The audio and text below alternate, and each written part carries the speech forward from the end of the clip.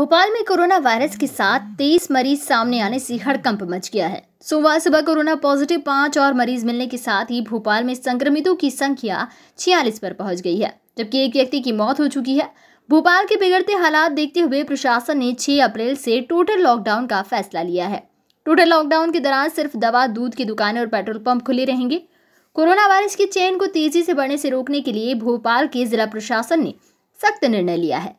नगर निगम आवश्यक सामग्री घर घर पहुंचाएगा। मुख्य चिकित्सा और स्वास्थ्य अधिकारी सुधीर कुमार डहरिया ने बताया कि सोमवार सुबह जो रिपोर्ट मिली है, उसमें पाँच नए कोरोना पॉजिटिव आए हैं। सभी कोरोना पॉजिटिव भोपाल के रहने वाले हैं।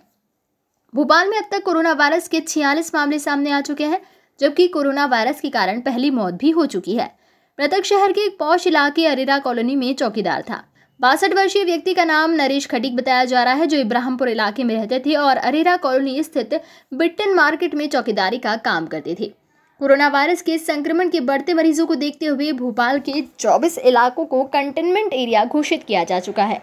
शहर की प्रोफेसर कॉलोनी विचित्र नगर दुर्गानगर सेमरा चांदबड़ आस्था रुस्तम खां श्यामला हिल्स तलैया रहमानिया मस्जिद, हिंद कॉन्वेंट स्कूल के पीछे एजबाग और फॉर्च्यून प्राइड कॉलोनी, त्रिलंगा को पहले ही कंटेनमेंट क्षेत्र घोषित किया गया है।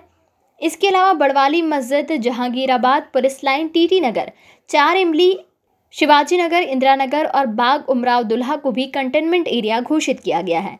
मध्य प्रदेश संचालय स्वास्थ्य सेवाएँ द्वारा रविवार रात जारी हुए मीडिया बुलेटिन के मुताबिक इंदौर में सबसे ज़्यादा 135 पॉजिटिव केस सामने आए हैं और अब तक नौ मरीजों की मौत हो चुकी है।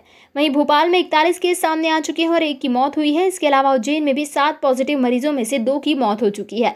जबलपुर में कोरोना पीड़ित मरीजों की संख्या आठ है और तीन मरीज़ स्वस्थ होकर घर लौट चुके हैं। वहीं मुरैना में अभी तक बारह पॉजिटिव केस सामने आए हैं।